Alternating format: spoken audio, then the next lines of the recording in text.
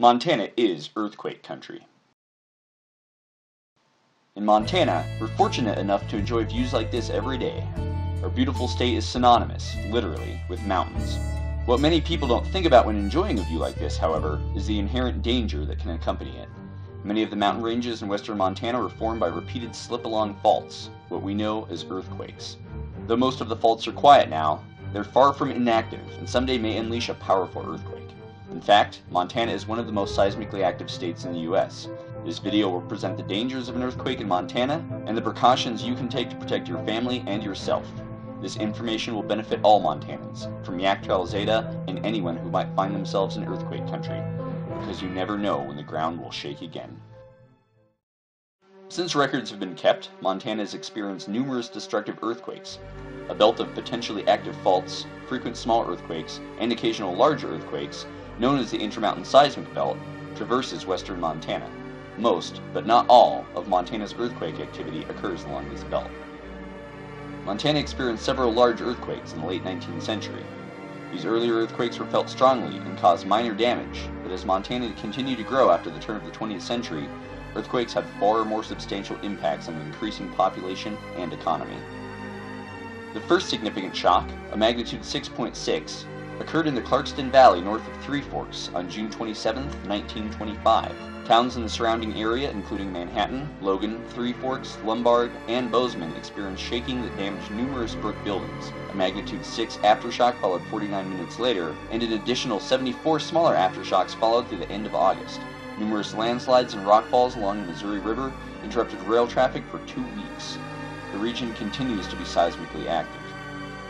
In late 1935, a series of quakes shook Montana's capital, Helena. The largest was the October 18th event, a magnitude 6.3. This largest quake was felt from Washington and Canada to Wyoming. Telephone, telegraph, and electrical services were halted for over an hour. Two people were killed due to falling debris. Over 300 buildings were damaged, with over 200 brick chimneys crumbling and falling. The newly completed Helena High School suffered severe damage. The total damage was estimated at over $4 million, or 69 million in 2014 dollars. Frequent shocks followed the October 18th event, and a magnitude 6 earthquake struck on October 31st, further damaging already weakened structures and killing two more people. An entire wing of Helena completely collapsed, and the school that was opened in August of that year was a total loss. The worst damage occurred in the brick-built business district. In all, 60% of the buildings in Helena suffered structural damage. Many people associate faults with physical geography, such as ridges, mountains, and canyons, but this isn't always the case. On May 15, 1909, a magnitude 5.3 earthquake struck near Scobey in northeastern Montana. This unusual earthquake was felt throughout eastern Montana, but caused no serious damage. However, on June 24, 1943, at Froid, Montana, in the far northeast portion of the state, an earthquake estimated in magnitude 4 range shook the ground and cracked a concrete grain silo so seriously that grain spilled out. Montana's largest, most famous, and deadliest earthquake occurred on August 17, 1959 at 11:37 p.m. The magnitude 7.3 quake changed the face of the southern Madison Range and the state's attitude on earthquakes forever. During what's now known as the Night of Terror, the ground beneath Hebgen Lake suddenly tilted, creating a large wave that washed back and forth across the lake and overtopped Hebgen Dam at least three times. Hebgen's earth-filled dam was seriously damaged, but didn't fail. Meanwhile, downstream, over 80 million tons of mountainside crashed down on a Rock Creek campground overlooking the Madison River. Cars, tents, trailers, trees, and people were buried or swept away. Over a mile of river and Montana State Highway 287 were buried under over 300 feet of debris. In less than a minute, 28 people lost their lives. A new lake formed, appropriately named Earthquake Lake, and within a matter of days was nearly 200 feet deep. The strong shaking disrupted many of the thermal features in adjacent Yellowstone National Park, including the famed Old Faithful Geyser. The damage in this sparsely populated region of Montana was estimated at over $11 million, or 88 million in 2014 dollars. This event, though one of several in the 20th century, was the most important as it let Montanans know this can happen here, and even in a sparsely populated region, can have severe consequences. So, what can you do before an event happens? The first thing to consider are the supplies you and your family will need to survive on your own for up to 72 hours. The most basic is water, 1 gallon per person per day with a minimum 3 day supply. Store it in a cool, dry, but accessible place. Keep in mind that children, nursing or expecting mothers, elderly, and sick people may need more water. Also, take any emergency medical situation into account. And don't forget your pets. Store at least a three day supply of non perishable food. Oh, and don't forget the can opener. For more information on what to include in a complete emergency kit, visit www.ready.mt.gov. Before an earthquake even strikes, here are some things to consider. After preparing a basic emergency kit, make sure your family knows where it is and have a plan in place. In earthquake country, it's a good idea to secure shelves to walls. The last thing you need is a heavy object coming down onto your head. Repair defective or worn down electrical wiring and any leaky gas connections in your house.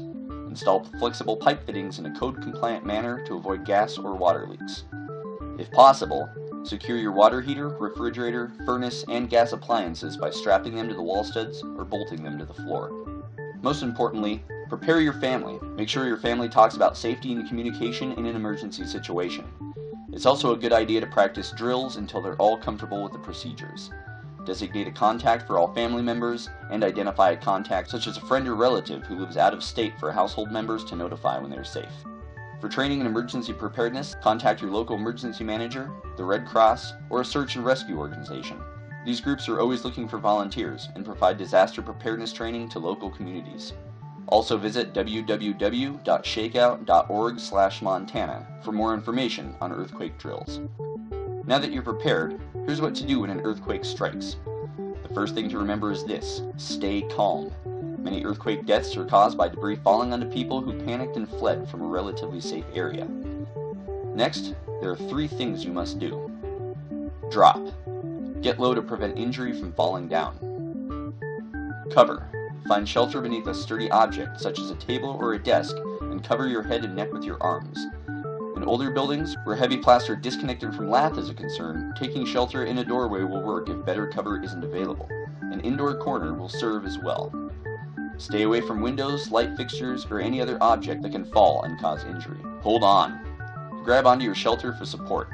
Stay where you are until the shaking stops. Make no attempt to go outdoors until the earthquake passes. So, when the shaking starts, there are only three steps to remember drop, cover, and hold on.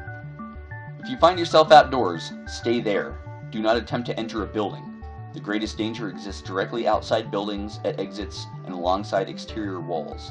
Many buildings in the business districts of Montana's towns and cities are built from brick, which can easily crumble and fall. Move away from buildings, streetlights, utility wires, and trees. If you're a lake, get away from the shoreline and move to higher ground if possible. Though Montana obviously isn't at risk for tsunamis, a large wave in a lake can be equally devastating to the immediate area. If you're on a hillside, take cover below a sturdy tree if possible, and watch for falling rocks and debris. Once you're in the open, stay there until the shaking stops. Ground movement during an earthquake is seldom the direct cause of death or injury. If you're in a vehicle, stop as quickly as safety permits and stay in the vehicle. Avoid stopping near or under buildings, trees, overpasses, and utility wires. Proceed cautiously once the earthquake is stopped. Avoid roads, bridges, or ramps that may have been damaged by the earthquake. If you're in a canyon or on a mountainous road, keep alert for falling rock or landslides. If you find yourself trapped in a building, again, stay calm. Do not light any open flame in the event of a broken gas line. Do not move around or kick up dust. Cover your mouth with a handkerchief or clothing if you can. Tap on a pipe or wall so rescuers can locate you. Use a whistle if one is available. Shout only as a last resort, as shouting can cause you to inhale dangerous amounts of dust. After the shaking stops, check your surroundings to make sure it's safe to move, then exit the building in the quickest and safest way available. Expect aftershocks. These secondary earthquakes are usually less violent than the main quake, but can be strong enough to do additional damage and are most likely in the first hours and days following the earthquake, but can occur weeks or even months later. Montana is famous for its sense of community, with neighbors looking out for one another. Remember to help your neighbors, as taking steps now can go a long way in protecting you, your family, and those around you. Talk to your family, friends, and colleagues today, and share this video to make certain that all Montanans are ready for when the ground begins to shake. Montana may be in danger from earthquakes, but that doesn't mean you have to be.